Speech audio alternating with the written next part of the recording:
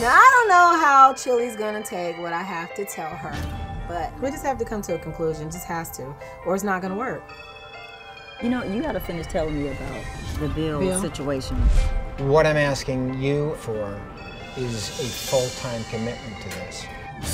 With the synchronicity of the release of the 20th anniversary to a summer tour, you know, oh, you're I not going to have time to do anything but this.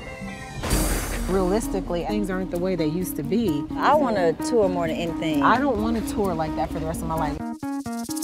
I want to keep dancing and singing. Like at 65, I see us working for the next thousand years. No, I don't. I ain't never wanted to be, well, uh, I creeper, yeah. No, that's not what I want, okay? Uh-uh. People are asking me as a writer to come in now. You know you have to get it while it's there, or if you snooze in our business, you lose. And I got You right for us. I have to do this stuff, or it's gonna be a problem for me. The Really? TLC is the priority. It just is. I gotta go. So, No hugs, no.